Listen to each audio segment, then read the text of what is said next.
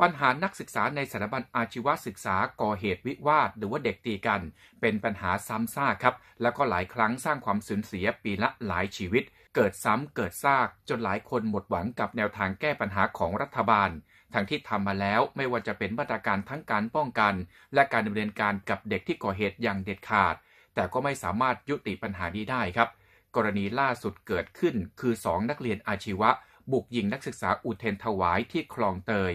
บาดเจ็บสาหัส และมีผู้ถูกลุกหลงเป็นครูเสียชีวิตไปหนึ่งคน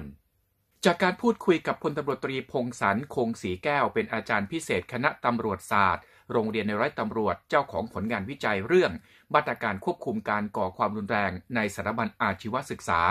วิเคราะห์ถึงต้นตอของปัญหาครับว่า เราคิดว่าปัญหาเด็กตีกันเกิดจากความคึกขนอง ในพลังวัยรุ่น หรือหุนหันพันลั่นของเด็ก หรือว่าปัญหาครอบครัวของเด็ก แต่นั่นเป็นเรื่องในอดีตครับ สิ่งที่เกิดขึ้นในปัจจุบัน ซึ่งยกระดับมาในช่วง 90 ปี คือรูปแบบสงครามตัวแทน โดยมีกลุ่มบุคคลอยู่เบื้องหลังครับ เป็นลักษณะกลุ่มก้อน หรือว่าการจัดองค์กรของสถาบัน กลุ่มก้อนนี้คือสิทธิ์เก่าหัวโจก ซึ่งไม่ใช่สิทธิ์เก่าทุกคนนะครับ แต่ว่าเป็นคนจำนวนหนึ่ง ที่ต้องการคงวัฒนธรรมการต่อสู้ไว้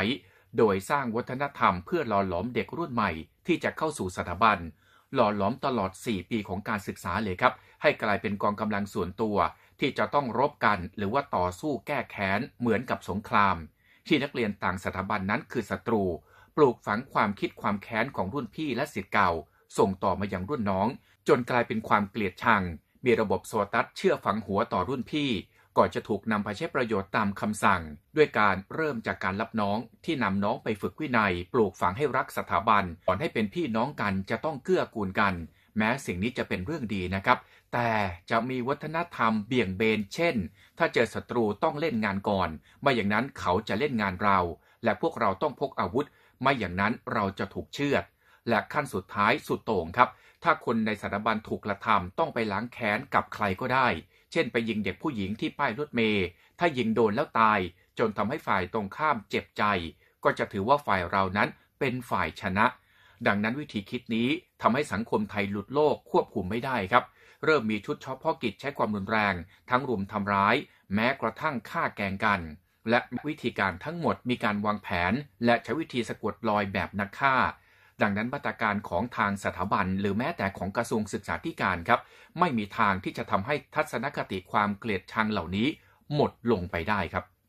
ส่วนมาตรการสั่งปิดสถาบันพลตำรวจตรีพงศรบอกว่าไม่ได้ช่วยอะไรครับเพราะว่าคนก่อเหตุมีเพียง 30%ขณะที่อีก 70%ในสถาบันตั้งใจมาศึกษาเล่าเรียน แต่พลอยได้รับผลกระทบไปด้วย แต่ภาครัฐก็ไม่รู้นะครับว่าใน 30%ของตัวตึง มีองค์กรอาชญากรรมอยู่เบื้องหลังครับ คิดเพียงเป็นปัญหาของเด็ก ต้องบังคับให้เด็กจับมือกัน หรือเอาเด็กไปเข้าค่ายทหาร ซึ่งไม่มีวันได้ผลครับสำหรับแนวทางแก้ไขนะครับพลตำรวจตรีพงศรบอกว่า ต้องแก้ที่ค่านิยม ไม่ใช่แก้ด้วยการปิดสถาบัน หรือเปลี่ยนเครื่องแบบ เปลี่ยนค่านิยมใหม่ครับก็คือเปลี่ยนหลักสูตร ให้เป็นสถาบันที่ที่คนอยากจะเข้ามาเรียน ผลิตคนมีทักษะเข้าสู่ระบบอุตสาหกรรม เปลี่ยนเครื่องมือการสอน และเอาค่านิยมเดิมซึ่งเป็นเทวนิยม หรือการบูชาออกไป แล้วก็ใส่วิชาที่เป็นเหตุเป็นผลเข้ามาแทนครับ รวมถึงเปลี่ยนพระสงฆ์เข้ามาในสภาสถาบันการศึกษา แล้วเอาสิทธิ์เก่า และนักเรียนนักรบ ที่เมนวคิดว่าทำร้ายคนอื่นแล้วเป็นเรื่องที่ถูกต้องนั้น เอาออกจากสถาบันไปครับแม้งานวิจัยชิ้นนี้ฟังดูแล้วน่าตกใจ แต่หากนึกตรึกตรองให้ดี ผู้ที่รับผิดชอบลองเข้าไปสืบลองเข้าไปสาง บางทีวัฏจักรสงครามระหว่างสถาบันน่าจะเบาบางลง หรือยุติลงได้ในรุ่นเราครับ